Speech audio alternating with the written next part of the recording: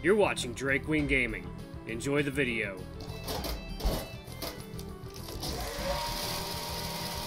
Hey guys, Nary here from Drakewing Gaming, and as some of you know me on Twitter, The Gaming Dragon. Today I'm coming at you another Let's Play episode of Dawn Chorus Devon's Path. So, this might be a little bit of a shorter video. I'm not sure how much more content this day has.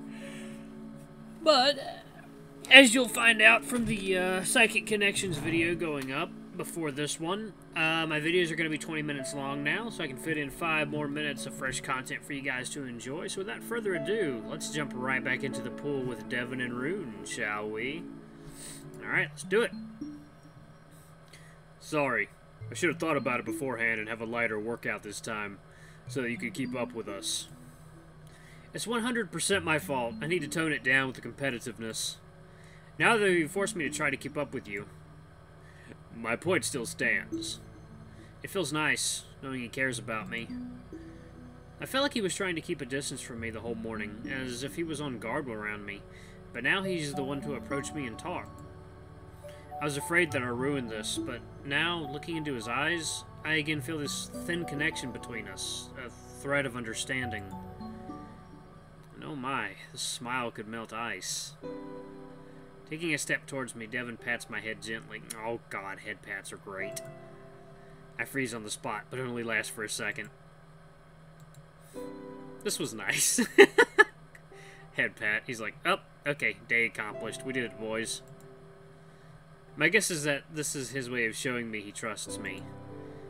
It also has a side effect of making me blush hard, but thanks to my patterned fur, it's not that noticeable. Let's go back and change. Dinner will be served soon. Following Devon, I make my way into the locker room. Devon nods at Rune and goes straight to the showers while I stop for a moment and lean against my locker. Carvin? You don't look so good. Are you feeling well? I'm just a bit tired. Don't worry. That was the most intense workout I've had in a long while. Just a bit? You look like you're going to drop dead any minute now. I just need a moment. Don't worry. I should do this more often. I warned, I warned you I'm a bit out of shape. My legs don't feel too stable, so I sit down on the bench for a moment. I'm dead tired, but there's something satisfying about that feeling, yep. That's never a bad idea. God, he looks so cute. I'll see you here tomorrow, then? I'm not agreeing yet. I'll see if I'll be able to walk after this. But I'd better go take a shower now. We don't have much time left. Good idea, yes. See you at dinner. Not wasting any time, I walk up to the to the closest shower and turn on the water. It's wonderfully refreshing after the heavily chlorinated pool water, and I drink a mouthful before starting to wash my fur hastily. That sounds like me. Still, I can't help but sneak a few glances at Devon. Rune might be nicely built, but next to the Panther, he looks almost unimpressive. I don't know how much the feline had to exercise to look like this, but he for sure dedicated a huge portion of his life to it. It takes a lot of dedication to get there, and I wonder what his motivation was. I'd like to ask him about it, but how do I do it without sounding like a creep? How'd you get so hot, Coach? No, definitely not like that. I'm really attracted to him, aren't I? I mean, I obviously knew it, but I'm only now starting to grasp it. It definitely makes any potential friendship with him more complicated. Actually, I'm not sure what I see him as. A teacher and an authority figure? A friend or just someone I have the hots for? How do I reconcile all these things? Thinking about the head pat he gave me just moments before, I feel as if I'm about to melt in the lukewarm water and slide down the drain. It's weird, thinking about this all while he's standing right next to me. I wonder if he has any idea. Devon finishes showering first and goes back to the locker room, leaving me alone with my thoughts. But No matter how hard I think, no answers come to me. I mean, it's not an easy thing to reconcile. Both Devon and Rune are already gone when I come back from the shower. Looks like Devon got out of there quick. Wonder why.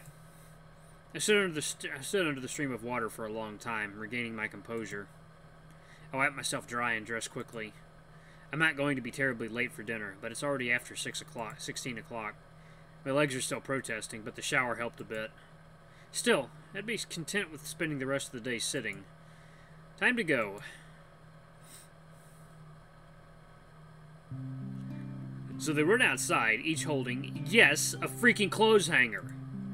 I sat next to Rune as Travis already took the spot next to Devon when I got here.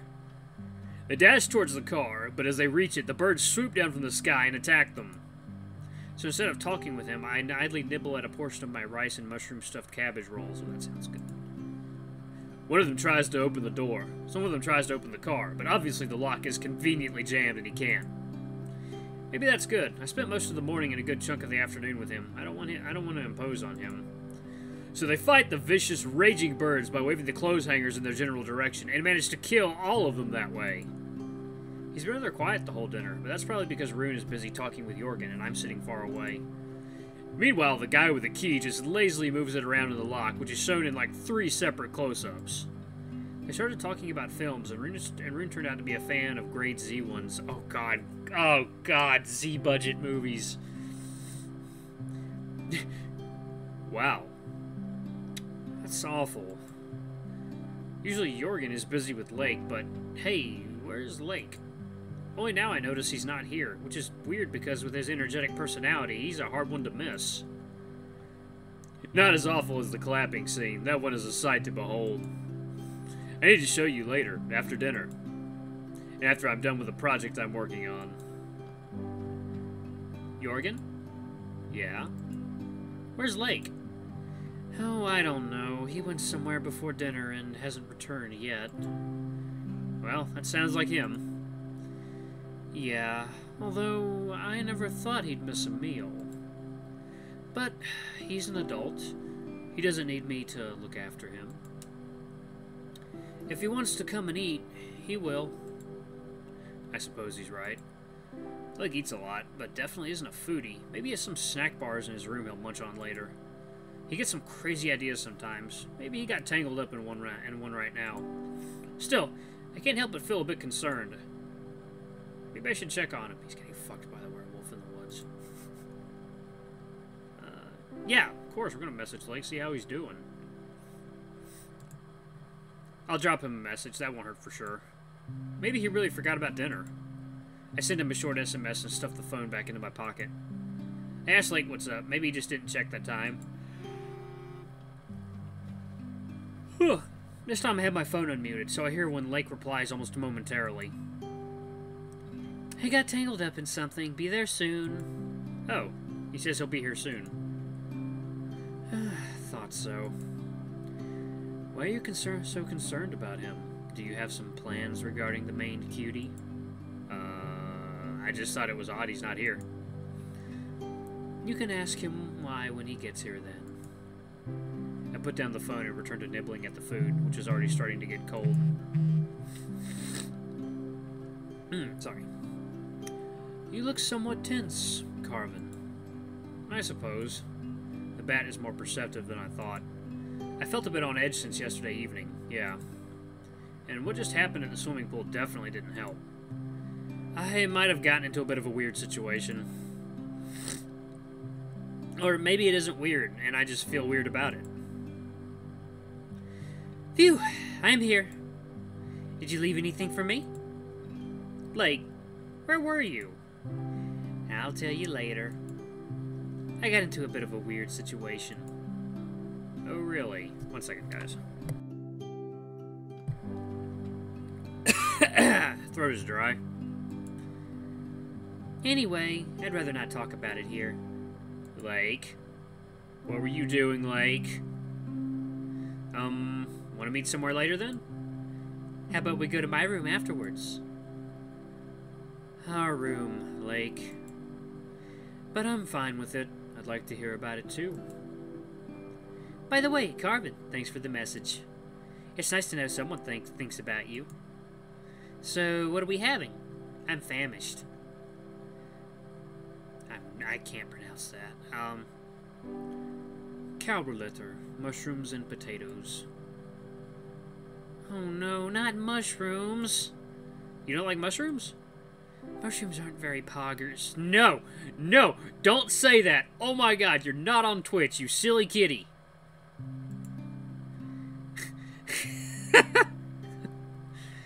Lake? What are you talking about? Stop coming up with words that don't exist. They're all squishy and slimy and just, ugh! I can't stand them. No one forces you to put any on your plate. I thought they were inside the... Jesus Christ. Carry Lee. um, a word I'm gonna butcher. That's that's much better. I can consume with a peace of mind. Watch, watching Lake put food on his plate, I wonder what sort of trouble he got into. Knowing the line, it could be anything. Hope he didn't destroy any furniture. That wouldn't be unlike him. I glanced once more at the panther, imagining him patting me again. Big padded paw ruffling my fur, and his gentle smile, comforting me like a dawn chorus on a dark winter morning. They did it! There it is! It's the title! Right there, guys! They did it! All the emotions swirling around in me make my head spin. I feel like I need to talk with someone about this or I'll explode. Hey, Carvin!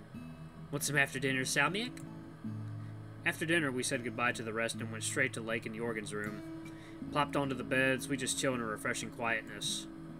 I like it here. Just staying in with these two is a in a comfortable silence. Yeah, I, I, yeah, I know what he's talking about. It's very enjoyable doing stuff like that. Sure, you can toss them here. Don't be a lazy bum and come get it. I'm not tossing anything. You don't want me to spill them all over you.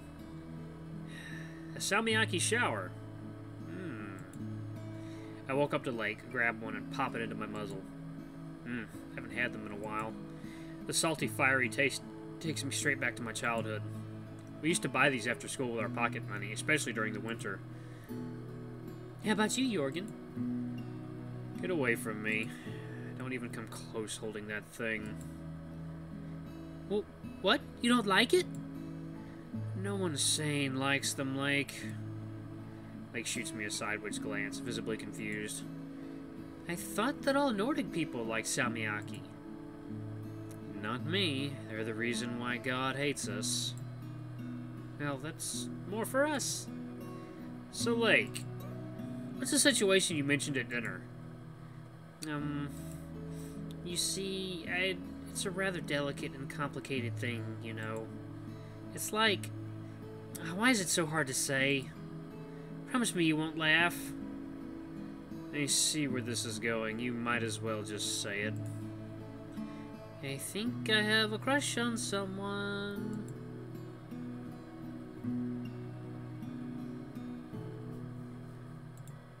Oh. Oh. Wait, that's a big deal. I told you that would happen, and I can't say I'm surprised. Wait. Who are we talking about? Who is it that you have a crush on? I didn't know it was possible, but Lake just blushed even harder than before. I don't want to tell. Um, does he not trust us, or just doesn't want to tell? It's rather unlike him to be secretive about anything. I always saw him as someone who wore his heart on his sleeve. Jorgen said that he saw it coming, which confuses me even more. I bet it's Torolf. One second, guys.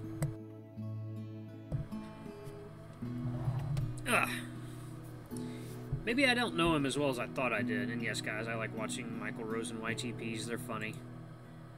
So, what were you doing before dinner? I went for a walk to the forest. Ah, that's not what I imagined. And certainly not what I had thought Lake would do in such a situation. My guess would have been that he'd come talk about it immediately. How serious is it? For me, it's always serious. It's not the first time, and so far all the crushes I've had have ended badly. Maybe I just have bad luck or something. Why is it so easy to blur the boundary between friendship and something more? What do you mean? I mean, when does friendship turn into love? Are those two even really separate feelings? I definitely say I love my friends. So it's just confusing when the boundaries blur and I don't know what I'm feeling. Ah, I see what you mean. I don't know if I can relate, though. Although the only major crush I had was on my closest friend, not counting what I'm going through right now. But when I started feeling something towards him, it definitely felt different than just friendship. It's too easy for me to fall for my friends. Just getting close to them emotionally is enough. Did you ever feel feel something for more than one person at the same time? Yeah, it happened to me once. It was rather confusing, too. I couldn't talk with anyone about this, which made it all even harder. Why not? Wanting two persons at the same time is rather frowned upon. I knew I wouldn't be understood. Besides, I had a crush on two boys from my class. Oh. I had a feeling Lake might be gay, but it never came up in any of our conversations. That's nice, I think. I'm not entirely surprised, but that's really out of the blue. Even now, I'm sort of feeling something towards someone else too, but I'm starting to get used to falling for my friends. Polyamorous people certainly don't have it easy, that's for sure. Not with how our society is organized. The primary objective of a family unit is still bringing up kids. Everyone assumes and expects exclusivity in a relationship, and opening the partner up to a possibility of a different arrangement is often impossible. I'm actually kind of poly myself, so. A little bit of a lore drop for me. I'm a little bit poly myself. I think I'd be open to something like that myself, and I don't doubt a lot of younger people feel the same way. We don't live in the same world as our parents and grandparents, and honestly, that's good. It's great to see that with every generation we get more sensible and empathetic, yeah. I mean, a hundred years ago, interspecies relationships were ostracized, and now they're the norm. If someone wants a kid, they either adopt them or get pregnant through the v- through in vitro fertilization, and it's nothing out of the ordinary for anyone. No one cares whose DNA their child has, and I've heard that it was a pretty important thing for parents in the earlier generations. I can only imagine the initial pushback against that. I've read about it, and it wasn't pretty, yes. People always react strongly when their basic beliefs and values are attacked. Try to put yourself in their shoes, and you'll quickly understand why it went like that. Imagine the core foundation you've built your stable life on challenged like that. Thankfully, that's already behind us, even though we still have a few issues to fight for. But yeah, polyamorous relationships can work, but they require a lot of work from everyone involved. In the end, it all depends on the parties and the relationship, what they're comfortable with, and what works for them. But the feelings of your partner should always come first. Pursuing other partners when they're not comfortable with that is subjecting them to emotional abuse. You had experiences with it? I didn't know you were in any relationships. Long ago, but it wasn't anything serious. We have a few polyamorous people in the LGBTQ community center I'm active in, so the topic frequently came up. Ah, that makes sense. Wait, does that mean Jorgen is queer too? Or maybe he's just volunteering there? Lake didn't react in any way, so he must have already known about it. Could I just ask, or would that be impolite? But anyway, we kind of switched to a different topic. Right. I didn't really want any advice. I just needed to get it off my system. Get it oh, get it off my get it out of my system. Thank you for listening to me. That's really all I needed.